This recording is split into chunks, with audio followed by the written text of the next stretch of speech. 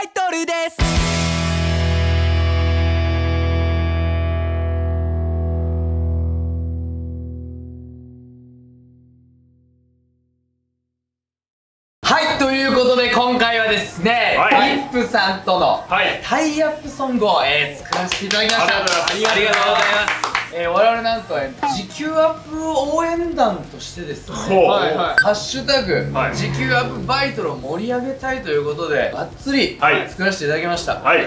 もうそれに向けての思いしか込められてないです。そうですね。本当に。それ以外は全振りで。楽曲とかはい。作りました？もん、そうですね。はい、どういう思いを？重い。まあ二文字で言今え回。2文字。重い2文字でいいごめんやめよう。やめよう。ごごめん。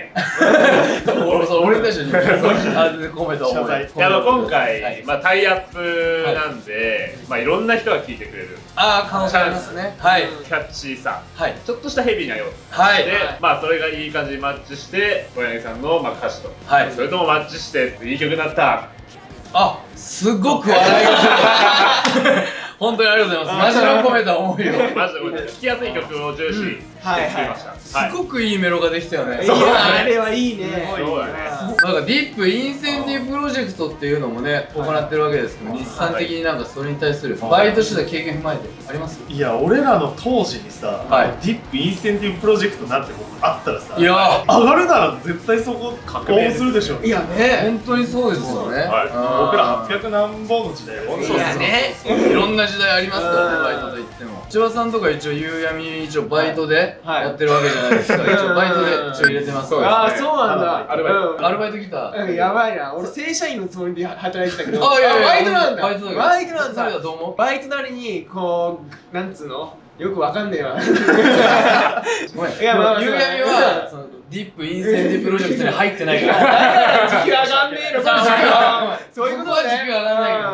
プインセンティブプロジェクトは上がります上がりますから。とにかくですねバイトルなら高時給のバイトがたくさんあるわけなんですよ。素晴らしいいろんな人が働いてくれるきっかけにもなります。なるほど。そんな企業もはい。立派応援しているという。ことで働く人も雇う人も全て応援している、ウィンウィンウィンだ。なるほどね。素晴らしい。なんでウィン？の3つ目ディップ企業お客さん。ああそういうことそうだね。すごいね。まあそれはそうだな。だからそれをマジで本当に今回曲に込めたんで。そうですこれはねぜひ聴い。てほしい、うん、だね。だから B メロとかにも、うんはい、いろんな求人のあれあるあるけどはいはい自分ね髪染めたりとか。はいまあ、とても本当にバイトできる髪色ではないのかもしれないけど 我々からしたら正直ね。もしかしたらそんな状況でも時給が上がって働くようなバイトがあるかもしれないあるかもしれないぜひ見てもらってですねだから詳細は概要欄の方に貼ってますので、はい。ぜひそれを見てこの曲も一緒にですね聴いて、はい。バイト変えてみようかなと、うん。新しくバイトを始める人もいるでしょう、はい。こういうのをきっかけにですね楽しめるようなバイトをね、はい。見つけてもらえたらなと思います。以上